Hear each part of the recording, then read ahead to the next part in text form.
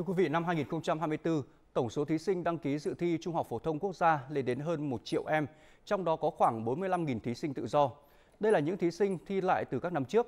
Tưởng chừng như các em có nhiều lợi thế về kinh nghiệm thi cử, kiến thức, nhưng với những thí sinh này, kỳ thi năm nay cũng có những thử thách riêng.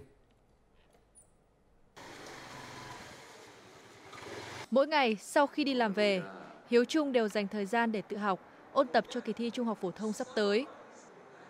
Dù năm ngoái, Trung đã thi đỗ vào một ngôi trường đại học, nhưng do cảm thấy không phù hợp với chuyên ngành đang theo học, em đã quyết định thi lại vào năm nay. Tuy có quyết tâm cao và sự tự tin nhất định, nhưng Trung cũng có không ít nỗi lo, đặc biệt là trong kỳ thi bậc thềm năm nay.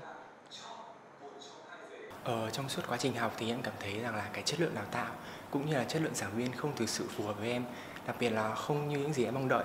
Vì vậy là em quyết định chỉ trong một tuần thôi là em quyết định em sẽ thi lại vào trường Đại học Kinh tế Quốc dân. Không chỉ học toán văn Anh mà em học thêm cả IELTS và đánh giá năng lực để mở rộng cơ hội xét tuyển vào trường đại học. Em được biết là năm nay là năm cuối cùng thi chương trình cũ, vì vậy sẽ có những áp lực riêng cho thí sinh tự do và cả các bạn 2K6. Uhm, trong gần đây thì em thấy là điểm chuẩn của các trường xét tuyển sớm có sự tăng cao, vì vậy em càng áp lực thêm nữa khi mà đây kỳ thi trung học phổ thông là kỳ thi cuối cùng em có thể xét tuyển vào trường đại học. Mang gánh nặng năm cuối cùng thi theo chương trình giáo dục phổ thông năm 2006, nhiều thí sinh tự do cũng có những thử thách trước kỳ thi năm nay. Nếu thi trượt, các em sẽ đối diện với những câu hỏi rất lớn về phương thức thi vào năm sau. Vì vậy, một số thí sinh như Đại An đang dồn toàn bộ tâm huyết, sức lực để giành lấy cơ hội đỗ vào trường đại học mơ ước. Vì năm nay cũng có ngoài các bạn 206 ra thì em được biết thêm nữa là năm nay rất nhiều thí sinh tự do. Thi lại, quyết định thi lại cùng với các bạn 206 thì chính vì cái điều đó mà em cảm thấy áp lực hơn trong cuộc thi đại học năm nay. Thì đối với em thì năm nay là chương, năm cuối của chương trình cũ thì áp lực càng nặng hơn đấy ạ. Vì mình sẽ không có cơ hội nào để làm lại.